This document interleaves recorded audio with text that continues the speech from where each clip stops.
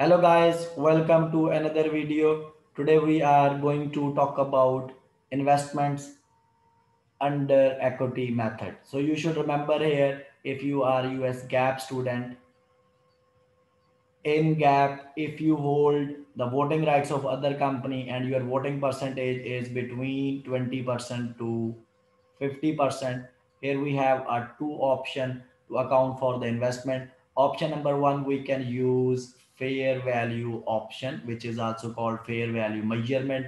You can also use equity method for investments. Okay. But you have to elect one option out of these two at the election date. But if you are IFRS student, so you have to use only equity method. So when we have voting rights between 0 to 50%, so it means we have significant influence over the investee. Significant influence mean to say you have power to participate in financial or operational policies of the investee. And second point you should remember here, because voting rights will always attach with the common stock. So here you should remember the amount of preferred stock held by investor is irrelevant because preferred stocks are non-voting. So now we are going to talk about one more important note you should remember about the parent company. Sometime as a parent company, you might hold more than 50% but still you have to use the equity method for example when there is a lack of control because a company is controlled by a bankruptcy trustee or subsidiary is likely to be a temporary investment. So still you can use the equity method. And equity investment initially you will always record at cost okay? And here we have a few uh, journal entries which are important for equity method. The first entry when you invest in the investee at that time you have to take fair value of consideration paid plus any legal fees. So with that amount you will pass entry debit investment in investee account and credit cash account with the value whatever you have paid. And at the end of the year of course like later on your investee in which you have invested they might be in profit or they might be in loss so you have to calculate your share of profit or loss and uh, what entry you will pass uh, to record the share of profit and loss. Debit will be investment in investee. Here you should remember your investment account will increase with the share of profit. And credit equity in earnings or investee income this value you will take it to the income statement. But this should be the share of profit or loss. Share of profit or loss how you can take? You need investee profit multiplied by your holding percentage okay? This is how you will get share of profit or loss. And the third we have a common entry relevant to the dividend. So sometime when you will receive the dividend here don't forget dividend we will not take it to the income statement. We will treat dividend as a return on investment and it will decrease your value of investment. So here what entry you will pass? Debit cash credit investment in investee here dividend will reduce the value of investment okay don't forget we will not take it to the income statement so here uh, we have a short summary for the basic idea as we will go uh, into detail later also. So short summary is what you have here. Uh, summary of equity method. For example, it is same like a bank account. You can assume so you will have here opening investment value at the start of year or it will you can take from last year uh, balance sheet. Plus you will add here share of investee profit okay? And don't forget this investee share of investee profit will increase your value of investment or you might have a share of investee loss. So you will subtract this value. And for loss i didn't tell you the entry above so you will make debit will go to share of loss okay? Means it will take you will take it to the income statement and credit you can make it here investment account okay? So this will reduce your investment. Then the less you will also subtract here dividend received or receivable because dividend we always here treat as a return on investment it's like a reduction okay? So if you want to understand the concept you can assume like you are running a bank account. So you have a certain deposit in the bank account which is your opening balance. What is the share of investee profit? It is like uh, you have earned here certain amount of interest which will increase your value of investment. Share of loss means say it is like uh, bank charges which will reduce your value of investment. And dividend received is like uh, withdrawals. You have a withdrawn certain value from the bank.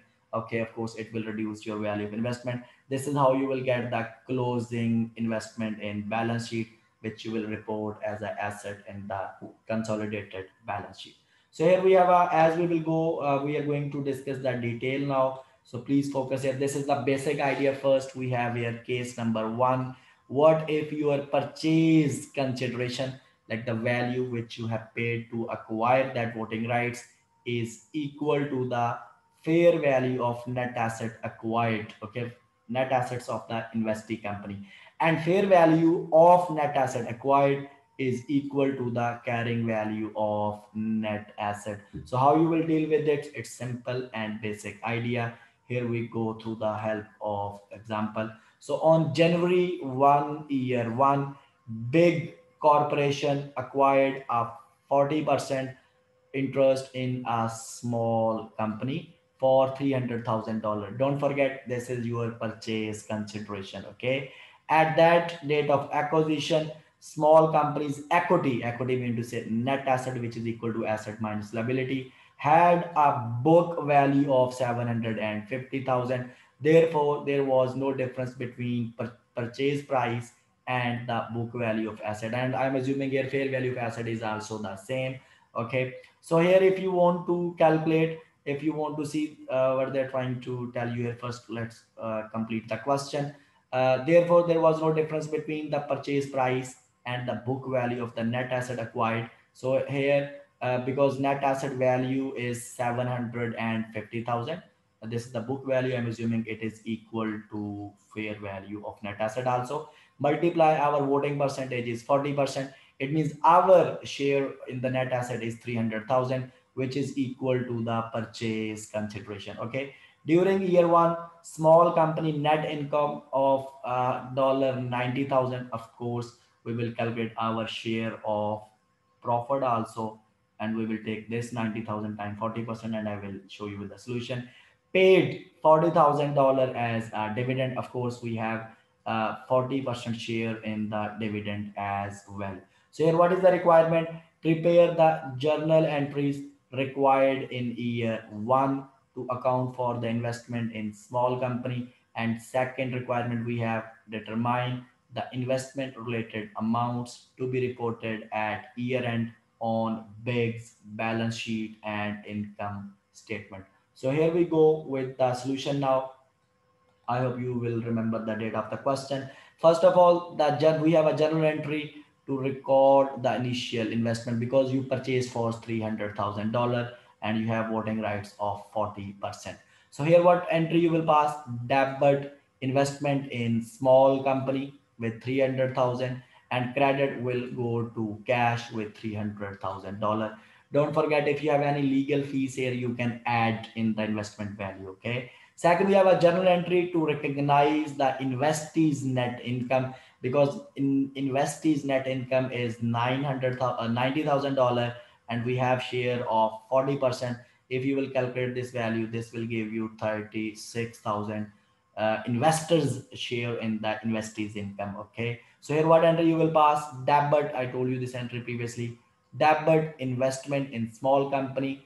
Okay. Like it will increase your investment account and credit goes to equity in investee company of course this is this will be recorded in the income statement okay when you will prepare the financial statements in the investors okay then they're telling you we have here journal entry to recognize the dividend also because total dividend paid uh, was $40,000 we have share of 40%. So what entry you will pass? Debit cash by 16,000, credit investment in small company 16,000 and this dividend is gonna to decrease the value of investment okay? Don't forget. Then we have here how you will present now uh, in uh, balance sheet of course. First let's talk about the balance sheet. In balance sheet you have first of all opening value of investment like which you have invested which is three hundred thousand dollar plus you have a share of profit. You can look the entry for the share of profit. So share of profit you have calculated here. Okay you have a thirty-six thousand dollar. This 36,000 you will add here. Minus what? Less the dividend whatever is your share in the dividend. So you have calculated which is 16,000 this value. Okay so you will minus this 16,000 this is how your value of investment will be reported in the balance sheet which will be equal to 320,000 now what we will take it to the income statement? In income statement we will take only the share of profit okay? We will take share of profit and share of profit is how much? $36,000 you will not take that dividend to the income statement because dividend we have treated as a reduction in investment. So we have another case here. This is a little bit complicated and you should remember we have here actually this is the case number two. If purchase consideration is greater than fair value of net asset acquired and fair value of net asset acquired is greater than carrying value of investee's net asset. And you know net asset is always equal to asset minus liability which is also called equity. Okay? So here you should remember please we have this uh, small format. So here first of all what you need to do you have to compare the book value of equity acquired. Book value it is book. You will compare with the fair value of the equity acquired. If the fair value is greater than book value of the equity acquired so this difference is called asset fair value difference okay? It's also called premium. But if your purchase price which is called purchase consideration is greater than fair value of equity acquired this difference is called goodwill. But this goodwill just we are calculating maybe for the exam point of view because maybe they might ask you in the exam. But this goodwill usually we don't present in the balance sheet okay? And we don't amortize. Please don't forget because this is just i'm going to tell you from exam point of view maybe examiner might ask you to calculate the goodwill also by using equity method. So here let's continue with the help of example. You will automatically understand. If we have a, a, asset fair value difference i'm talking about this. So which is the difference of fair value of asset minus book value of asset? This difference is called asset fair value difference. Asset fair value difference. So what you will need to do accounting for asset fair value difference is so whatever there is a excess excess amount is there because we our fair value is more than its book value. So we need to amortize. Amortize over what? Over the life of the asset. Maybe there is a one plant or machinery whose fair value is more than book value. So this difference we will amortize over the life of that plant or machinery. But if this fair value difference is coming due to the land of course it will not be amortized okay? So for example if there is a difference i'm just assuming for the time being. Let's assume there was a piece of machinery. Uh, fair value of machinery was i'm just assuming here a $50 and uh, book value of machinery is $30 so there is a difference of $20 this $20 maybe you have a life of 10 years you will amortize. It means every year you will record the entry of uh, dollar two per year as amortization. And this is what is the entry you will pass. Debit equity in investee income. Actually you know this will reduce your share of profit. Don't don't worry and i will tell you okay with the format also. So it means you are going to reduce the investees a share of investees profit okay? And credit will go to investment in investee. It means it is going to reduce in the income statement what is going to happen. So your share of you have a share of profit whatever uh, share of profit. From share of profit you will subtract this one huh? this amortization. Subtract the amortization. This is what is the final value which you will you which you will report to the income statement okay? And when it comes to the balance sheet so same way if you remember in the balance sheet i told you we have their opening investment value okay plus share of profit okay minus what? Dividend okay? And now here one more thing you will minus here additional thing that is amortization. So this is what is the final value will be recorded in balance sheet. I'm talking about balance sheet. But this is how you will do in the income statement. So here the second point i have already told you about the goodwill. Like the goodwill you will not present separately. You will not present separately okay? Okay and you will also not amortize. I'm talking about you will not amortize the goodwill but you have to check the amortization for investment under equity method that we will see with the help of example. So here we go. We have a question to practice. For example on january 1 year 1 we have a big corporation acquired 40% of interest in small company for 300000 this is your purchase consideration. At the date of acquisition small company's equity i mean to say net asset had a book value of 550 this is the book value and the fair value of 600000 the difference between the book value and the fair value relates to the equipment actually it's due to the equipment being depreciated over a remaining useful life of 10 years okay during year one small company had net income of 90000 and paid a 40,000 of dividend. So here we have a different requirement. Number one, prepare the journal entries required in year one to account for the investment in small company. Number two, we have compute the asset fair value difference, which is the difference of fair value and book value of net asset. And we have to calculate the goodwill also. Number third, we have to record the journal entry to depreciate the fair value difference. We will see Number four, determine the investment related amounts to be reported at year end on BIG's balance sheet and income statement. So please, uh, you can go back also check this data because I'm moving forward now. So here we go. First of all, uh, this is the requirement number one, investment and subsidiary activities. So what you need to do at the time of initial investment because you purchased it for $300,000 you will pass the entry debit investment in small company credit cash by $300,000 then you have a at the end of the period you have to calculate your share of profit okay? And investee profit is 90,000 and our share is 40% if you will take this it will give you 30,000 so with the share of profit you will make debit investment in small company because your investment account is going to increase and credit is equity in investee income of 36,000 okay? Because you will also take it to the income statement so this is the balance sheet item because it will increase your value of investment. Then you have a journal entry to record the dividend also because total dividend paid was 40,000 our share is 40% you will make this debit cash 16,000 credit investment in small companies 16000 because dividend will reduce your investment value this is the requirement number one. Now we have a requirement number two because in second requirement you have to calculate uh, the goodwill also asset fair value difference also and their depreciation. So here you should remember how we can calculate the goodwill. You can just look at here. So we have a fair value of net asset is given is 240000 you can check in the question.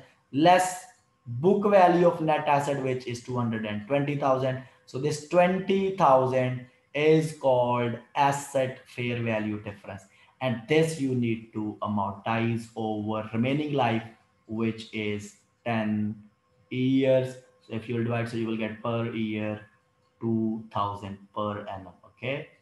So this with this part uh, 2000 per annum first directly pass the entry. You will make debit equity in investment income. I mean to say you will reduce your value okay in the income statement okay with this value. Share of profit minus equity in investment income with this amortization.